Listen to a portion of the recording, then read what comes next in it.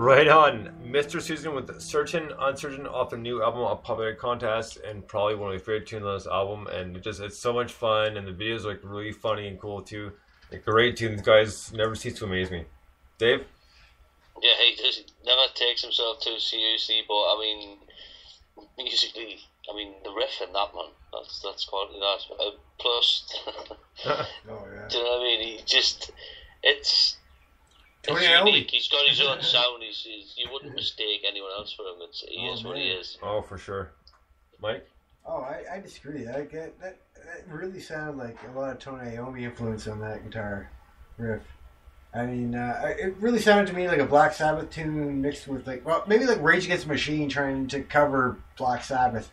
Maybe not so crazy Tom Morello guitar solos, but uh, you know, I don't know. It was uh, really cool. But like that was a really dark, like I don't know, Black Sabbath riff. I think uh, that's Oh, what remind, re- really reminded me of. Fair enough.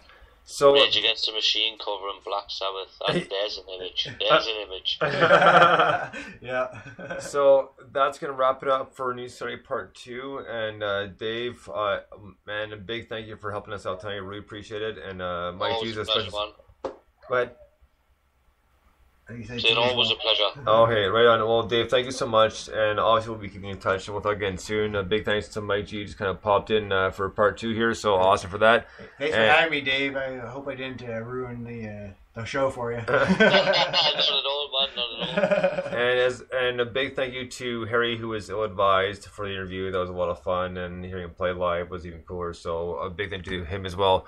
Until next Saturday, when we'll be back at 9 p.m. Eastern, and uh, Anne and Nick will be joining me. They're of two new bands now, Nimue and Hollow Romance. So they'll be joining us next Saturday at 9 p.m. Eastern. Until then, we'll talk to you soon. So again, big thank you to Dave, Mike, and Harry of Ill Advised. Uh, great show, guys. We'll talk to you soon. Until then, bones out. Good night.